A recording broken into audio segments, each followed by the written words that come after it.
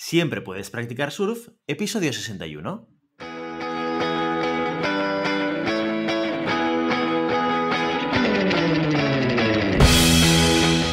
Bienvenido y bienvenida a Siempre puedes practicar surf, el podcast semanal sobre recursos. Nos podrás encontrar en iVoox, Spotify y iTunes y en nuestra página web globalhumancon.com, donde también encontrarás más contenido en nuestro blog e información sobre nuestros servicios. Apúntate a nuestro newsletter y no te perderás nuestros webinars en directo o nuestras formaciones abiertas. Este podcast está pensado para profesionales de recursos humanos, gerentes o jefes de equipo y podrás encontrar técnicas, consejos, ideas, conceptos y noticias sobre la gestión de personas, eso sí, con un enfoque práctico y aplicable. Mi nombre es Guillermo Cornet, presentador de este programa, y hoy en Siempre Puedes Practicar Surf hemos vuelto a invitar a nuestra coach de Global Human Consultants. Hoy tenemos a Mónica Roura para hablar de un tema muy concreto y muy útil. Hoy vamos a desarrollar y a profundizar en dos elementos que tenemos que tener muy en cuenta cuando trabajamos el coaching. Los saboteadores y las creencias limitantes. Empezamos.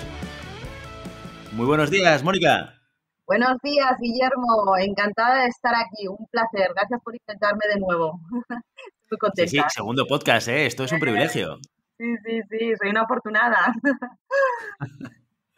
Hoy con Mónica, como decíamos, hablaremos de saboteadores y creencias limitantes, pero no solamente eso.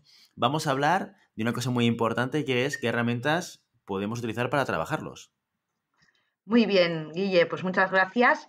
Eh, os cuento, ¿vale? Em, yo llevo un año en, GHC como coach y ocho años metida en el mundo del coaching, ¿vale? Entonces, una de las primeras cosas que se encuentra una persona cuando entra en un proceso de coaching es dos fundamentales. Uno es el core values, que es lo que ya hablamos en el podcast anterior, ¿vale? Y la otra cosa es el tema de los saboteadores las creencias limitantes. Es lo primero que se trabaja para poderse desarrollar, porque eso muchas veces impide el desarrollo natural eh, impide desarrollar las capacidades y eso al final trasciende en nuestro bienestar e-, emocional, porque hay una incomodidad. O sea, cuando hay muchos saboteadores y muchas creencias limitantes latentes, hay mucha incomodidad. ¿Vale? Pero bueno, antes de entrar en saboteadores y creencias limitantes, os voy a decir cuál es la definición del coaching según mi punto de vista, que ya os lo comenté la, vez pasada, pero al final es para poner un punto de partida, para el que no haya podido escuchar el podcast anterior. El coaching al final es una, relación continuada entre un cliente que lo llamamos coaching y el coach, ¿vale? Ayuda a obtener resultados extraordinarios.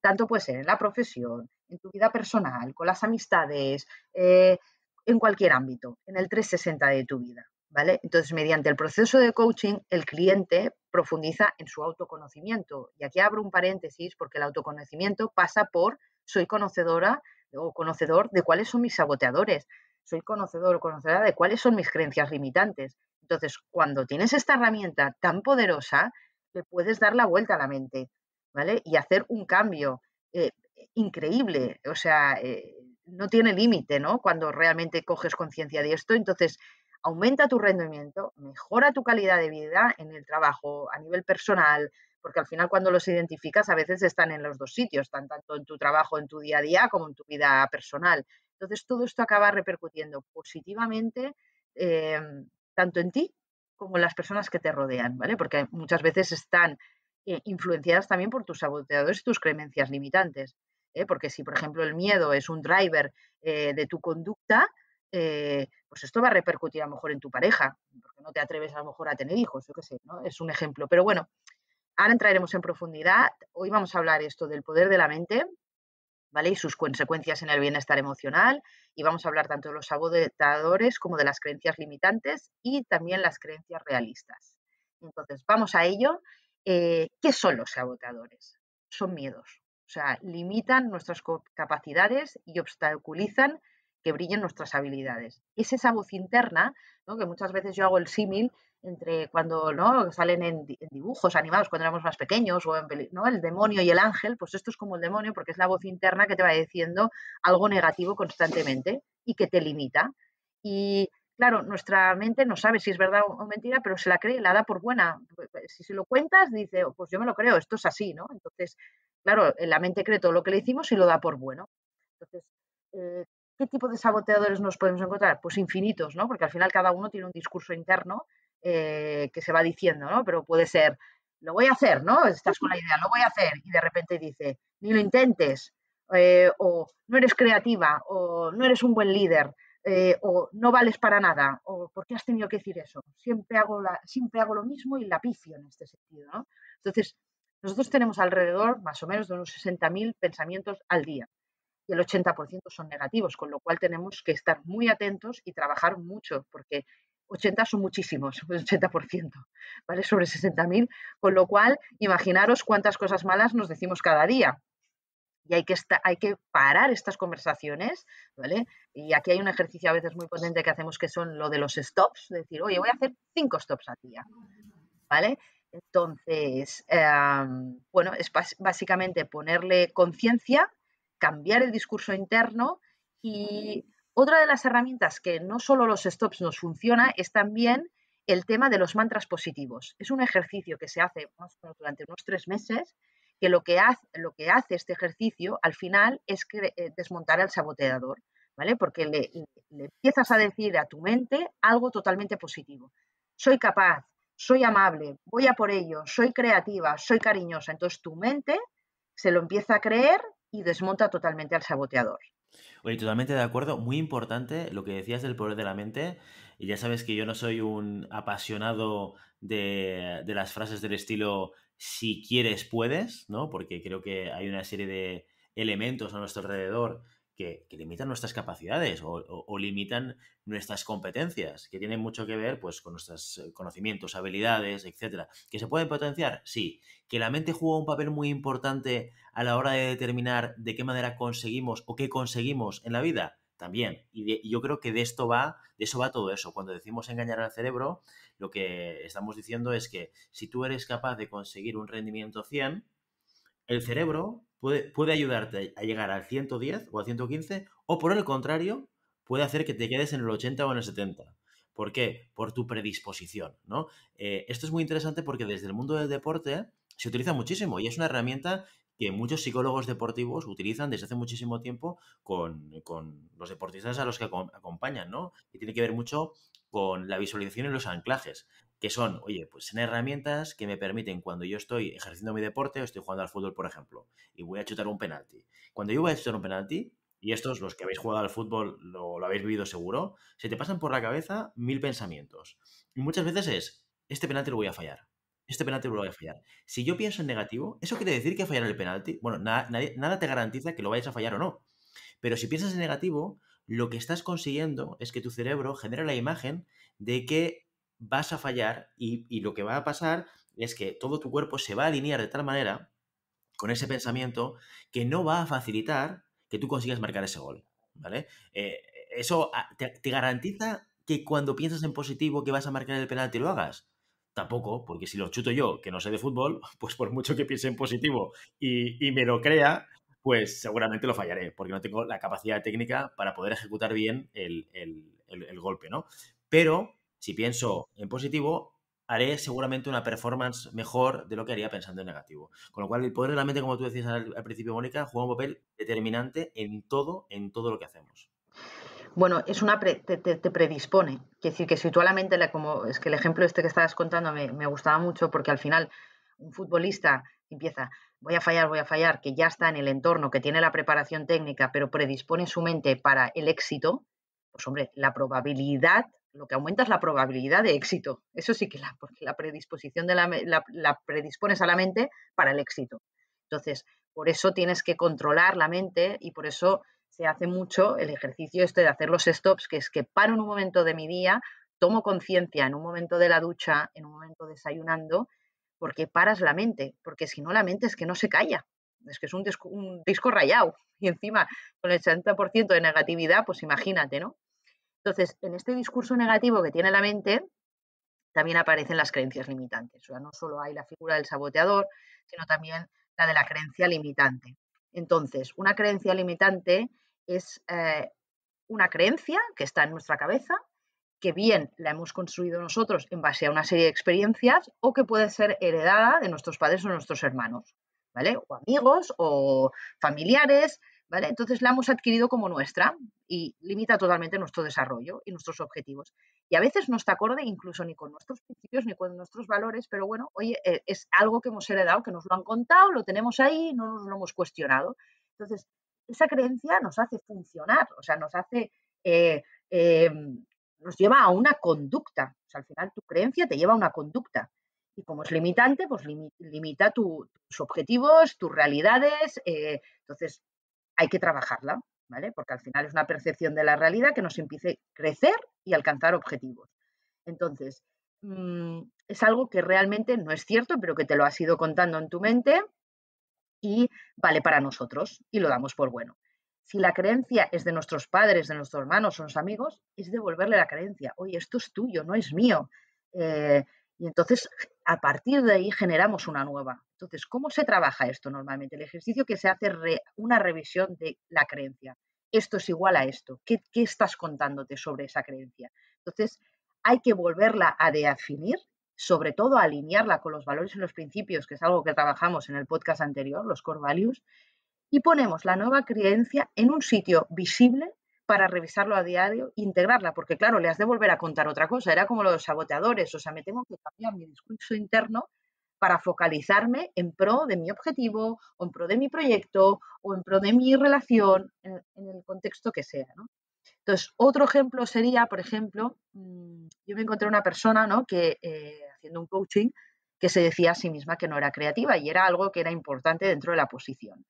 Y entonces revisamos cómo, qué definición tenía de la creencia y para ella, pues bueno, la, la creencia era que ser creativo era arte, pintura, escultura y no cabía nada más, no había cabida para nada más dentro de esto. Entonces, claro, eh, estuvimos revisando qué era la creatividad y la creatividad son infinidad de cosas.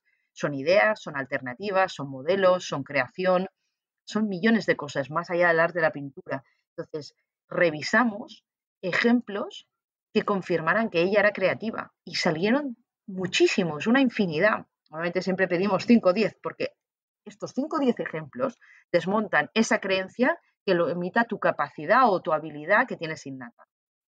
¿Vale? Entonces, dicho esto, eh, vamos a ver cuál es la diferencia entre una creencia limitante y una creencia realista.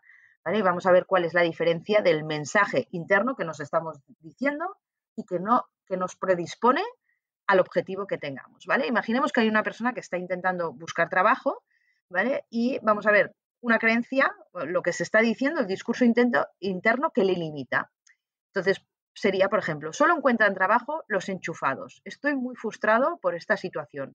¿Para qué voy a enviar más currículums si esto no sirve para nada? Al final, esto es una probablemente es una creencia em, que viene heredada eh, de, a lo mejor, de tus padres, porque en aquel momento sí que realmente se conseguían los trabajos por enchufe, y las has heredado y te las has integrado y, te, y tu conducta va en función de esta creencia, ¿vale? Pero hay otras maneras de ver esa misma realidad.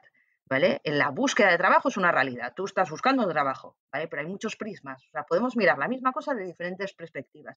¿Cuál sería la nueva perspectiva más realista? Pues sería, mi amigo Juan ha encontrado trabajo esta semana, no ha sido por enchufe, sino que ha creado su estrategia de marca personal utilizando LinkedIn para tener más visibilidad y está todo el rato conociendo a profesionales de las empresas en las que le gustaría trabajar. Esto sí que se adecua más a la realidad, a lo que realmente está pasando.